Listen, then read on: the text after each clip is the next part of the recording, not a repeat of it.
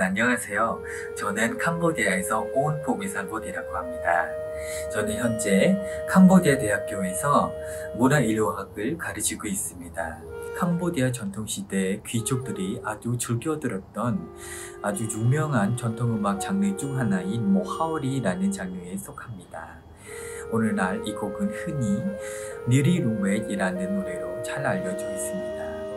이 노래는 캄보디아의 고유 부드러운 음악과 이제 캄보디아 여성 인 폼에 대한 자랑하는 그런 노래입니다.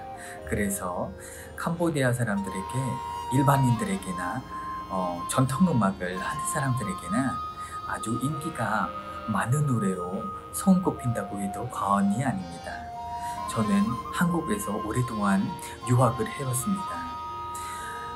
한국에서 유학하면서 캄보디아에 대한 그리움이 컸습니다.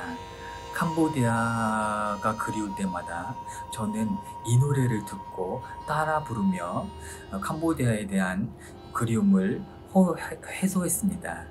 네, 그래서 이번 기회에 어, 한국 전통 국악으로 이 곡을 표현한다고 들었을 때 이 곡이 얼마나 더 아름다워질지 정말 기대가 큽니다.